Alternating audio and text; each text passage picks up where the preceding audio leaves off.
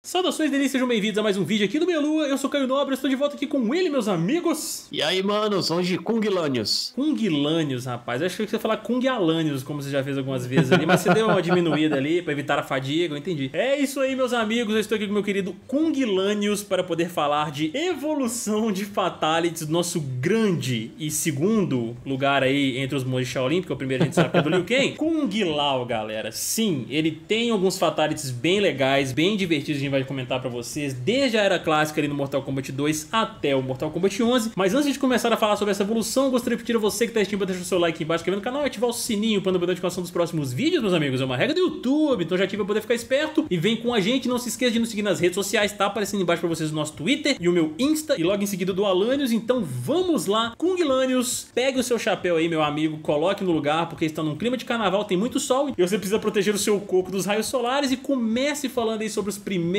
fatais desse personagem delicioso? Bom, primeiro da lista é um Fatality bem simples, mas eu acho que na época ele foi eficiente, né, pra proposta dele ali, que ele tira o chapéu e reparte o objeto ao meio, né? Simples assim. Exatamente, cara. Esse Fatality do Mortal Kombat 2 era um dos que eu mais gostava dentre todos os personagens, assim, porque eu acho que ele era um dos mais surpreendentes, eu diria, mais brutais, assim, porque você vê, naquela época, onde era tudo 2D, os gráficos não eram tecnologicamente avançados igual é hoje, tão realistas e tudo. Você vê ele pegando um chapéu, que a gente sabia que era cortante, e partindo a fruta no meio, o negócio abrindo, a gente vendo aquele monte de caroço ali dentro, aquele monte de graveto, meu amigo, era de surpreender. É um fatality que o que eles estavam trazendo ali, né, no Mortal Kombat 2 e tal, o corte não era um corte limpo, a hora que abria ali, você via todas as imperfeições ali, né?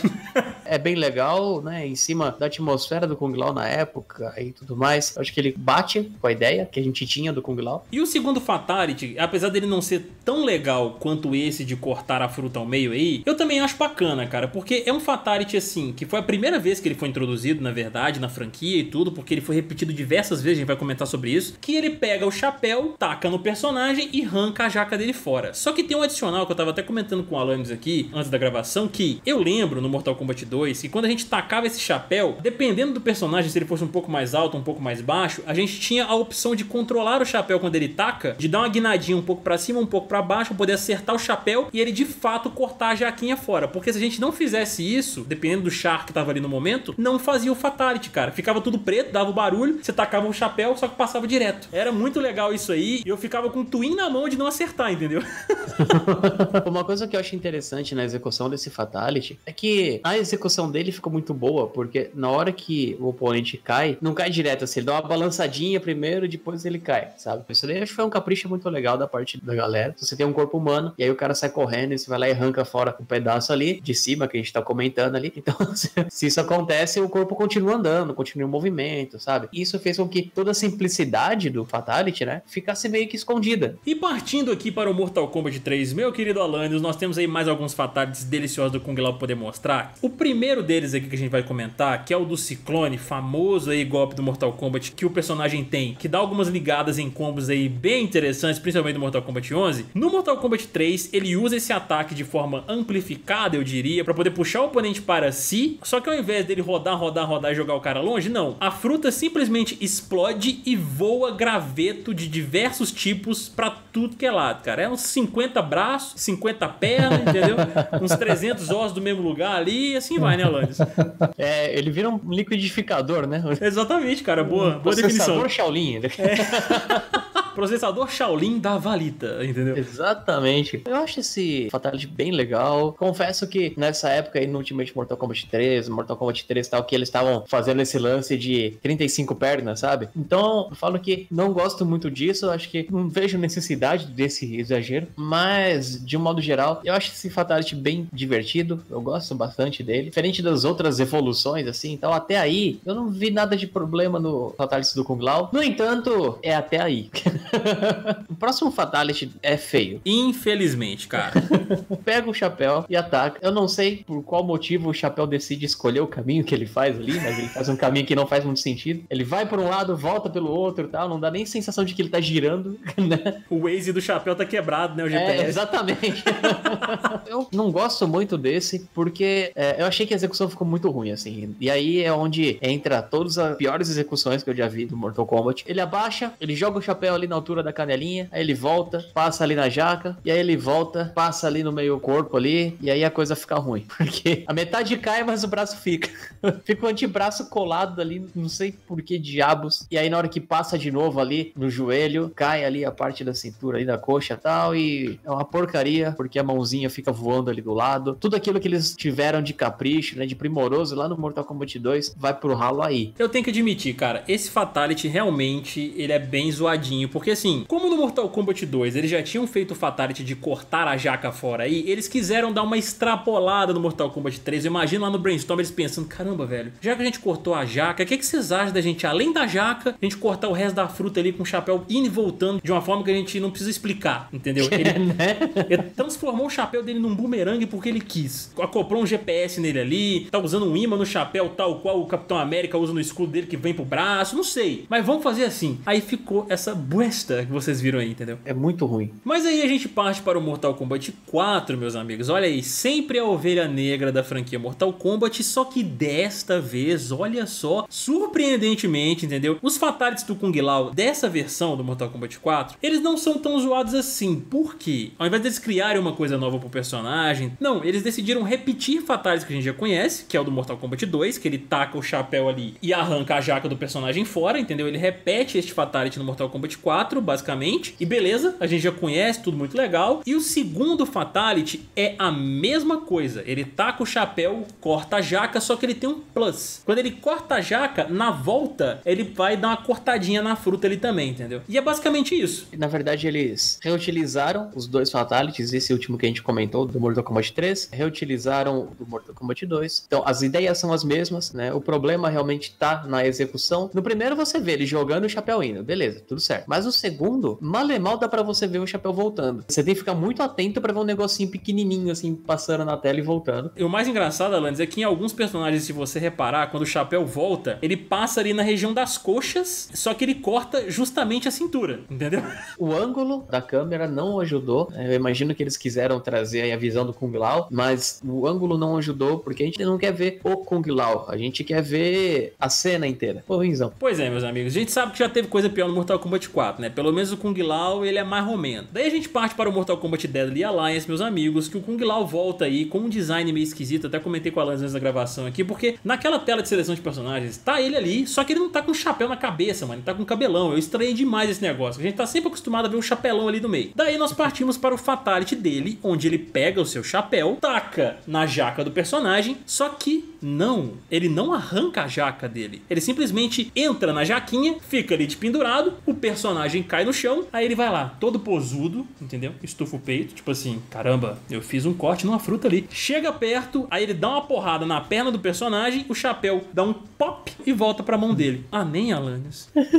Ele pisa no joelho do cara. Olha, eu vou ser sincero. Se ele tivesse pisado na barriga, você ainda podia pensar que eles estavam imaginando, por exemplo, que ele pisa ali e aí você tem né, o ar que tá dentro do pulmão ali que por algum motivo sai e aí empurra o chapéu pra fora. Né? Você poderia até pensar nesse lance de pressão, tá ligado? Mas no joelho, cara, não dá para defender. A ideia começa legal, ele cravando o chapéu ali no meio da manga ali, mas no restante, cara. E é um fatality só pro personagem, eles já deram uma estragadinha nesse do Kung Lao. No Mortal Kombat Deception ele não aparece, no Armageddon todo mundo já sabe que não tem fatality, entendeu? Aquele negócio que você tem que ficar fazendo a sequência de botão que é zoado pra caramba também. Daí a gente parte para a era moderna do Mortal Kombat, começando com Mortal Kombat 9. Aí o negócio fica bom. Por quê, meu amigo? O primeiro Fatality nosso grande Kung Lao no Mortal Kombat 9 é uma mistura dos dois Fatalities dele do Mortal Kombat 2, onde ele pega o chapéu, taca no personagem, só que o mais interessante é, ele não taca já em direção à jaca, entendeu? Ele faz de uma forma que o chapéu faz uma curva, aí na volta ele pega na jaca do personagem, daí quando ele cata o chapéu novamente, ele dá aquele corte no meio característico do Mortal Kombat 2 também, entendeu? Então são dois Fatalities em um. Esse sim ficou muito criativo, eu achei bem legal eles terem utilizado esses dois em um só, entendeu? Eles estão de parabéns. É, aí a gente percebe o quanto eles aprenderam a mexer com a câmera, né? Porque como eu comentei, lá no Mortal Kombat 4, não dá pra ver direito o que ele faz. Eles tentaram colocar uma visão específica ali do Kung Lao e tal, né? Ver aquele ponto de vista, não funcionou. E nesse, eles usam o mesmo ângulo de câmera, mas de uma forma muito bem trabalhada, porque a câmera, ela vai ali nas costas do Kung Lao, ela segue um pouco o chapéu, então você tem todo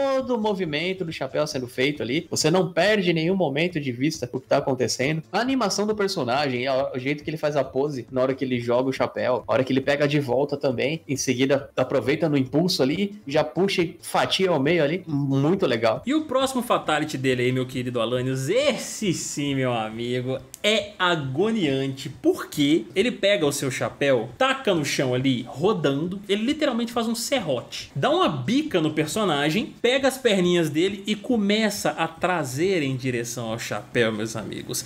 Para nós que somos homens, rapaz, ver aquilo ali é triste entendeu? É doído. É agoniante. É agoniante pra caramba, entendeu? Porque ele começa a partir a fruta ali daquela região e vai até o final e depois levanta as duas carnonas, assim, rapaz. Pronto pra poder colocar no açougue dele ali. Esse Fatality dele é muito bom, muito criativo e é um dos melhores do personagem até hoje. Pra falar a verdade, acho muito legal. Eu acho que esse foi o primeiro Fatality que eu vi no Mortal Kombat 9 que me deu aquela aflição. Eu gosto muito dele, eu gosto muito da execução. É o primeiro Fatality que mostra de verdade, né? Que a, a, lâmina que tem no chapéu do Kung Lao é guinso. Porque, meu, corta pedra, corta pessoa, corta tudo ali, né? O negócio fica rodando, vira uma lâmina ali rotatória que, nossa, a faísca comendo solta ali e o chapéu não perde velocidade, não perde impulso e tal. Eu gosto bastante desse ali. Exatamente, cara. Muito bom. Eles estão de parabéns com os fatais do personagem do Mortal Kombat 9. Daí a gente parte para o famigerado Mortal Kombat X, meu querido Alanios, onde o primeiro Fatality, ele é um pouco parecido com esse do Serro serrote, o que a gente acabou de comentar. Só que a grande diferença é, ele taca o chapéu rodando, né, para poder se tornar um serrote, igual a gente falou. Aí, ao invés dele jogar o personagem no chão e puxar ele ali pelas partes que a gente não gosta muito, ele dá meio que uma rasteira no personagem ali, onde a jaca dele vai em direção a esse serrote, entendeu? O cara ainda vivo tenta impedir isso de acontecer, o Kung Lao vai lá com seu pezinho e termina de empurrar a jaca pro serrote, partindo ela no meio ali. E é foda pra caramba, porque assim, o Mortal Kombat 10 ele já tá bem mais realista e tudo mais. Quando a jaca encosta o negócio fica batendo, indo e voltando assim, e depois serrando, meu amigo, é tenso também, viu? Eu acho esse daí até mais pesado do que o do 9. Ele me deu mais agonia, mas é um que eu acho bem legal também. Eu gosto muito. Você vê no, o desespero do cara na hora que ele cai e olha pro chapéu assim. Então a execução também ficou muito boa. A ideia é legal. É uma ideia parecida com a do Mortal Kombat 9, que funcionou lá, naturalmente ia funcionar aqui de novo. E o segundo Fatality aqui, meu querido Alanios, do Mortal Kombat X, já não é é lá essas coisas. Por quê? Ele pega o seu chapéuzinho, corta a jaca do personagem que voa 300 metros de altura, não sei como. Aí antes da jaca cair, ele faz uns cortes ali na fruta, de forma que quando a jaca pousa, abre a fruta todinha ali, como se fosse uma flor, Alanis. Olha pra você ver que bonita. A flor de lótus, né? Que é o White Lotus e tudo mais, a gente conhece. Olha aí que maravilha, que romântico. É, esse daí é um que eu não gostei muito. Acho que a ideia do cara desabrochar ali, cair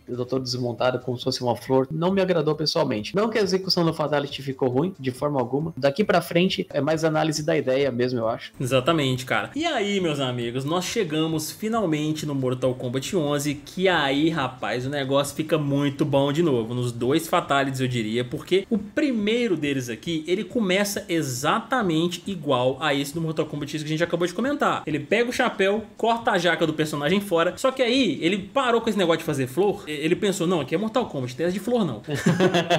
Depois disso, ele usa o seu teleporte para poder aparecer atrás do personagem. Aí ele fatia a fruta no meio, fazendo aquela referência ao Mortal Kombat 2 deliciosa ali. E na hora que a jaca tá terminando de cair, cara, ele joga o chapéuzinho para poder partir a fruta bem na tampa ali, Alanios. Nossa, é muito bom esse Fatality. Eu gosto demais, velho. Muito criativo, bem feito demais e explora muitas habilidades do Kung Lao. Nesse daí a gente consegue ver mais do que eles querem mostrar da personalidade do Kung Lao, né? Nesse, a gente tem um trabalho trabalho muito legal, mostrando quanto ele se acha e tudo mais. E eu acho que eles acertaram muito nesse primeiro Fatality, porque uma vez que você vê o quanto o Kung Lao se acha, é onde você percebe que ficou tudo muito bem encaixado. Muito bom. Daí a gente parte para o segundo Fatality aqui, meu querido Alanios, que novamente ele tem que usar o chapéu dele, óbvio, né? Não tem como, é a arma mais poderosa do Kung Lao, que ele tem que usar para poder destrinchar os personagens aí. Ele coloca esse chapéu para poder rodar no ar, para poder novamente se tornar um serrote. Ele pega o personagem personagem e começa a rodar, igual louco assim, pelos braços, entendeu? Só que aí a forma como o negócio vai acontecendo que é interessante, porque ele roda e vai chegando perto do chapéu. Aí fatia primeiro os gravetinhos, que são as perninhas, depois chega na metade da fruta, aí ele fala: Ah, cansei, vou jogar esse negócio no meio certinho ali agora. Aí ele termina jogando o personagem, metade da fruta que sobrou, daí o serrote termina o serviço partindo a frutinha ali no meio, cara. Esse Fatality também, ele é muito legal, eu achei ele muito criativo, apesar de eu preferir o primeiro do Mortal Kombat 11, entendeu? Eu também prefiro o primeiro,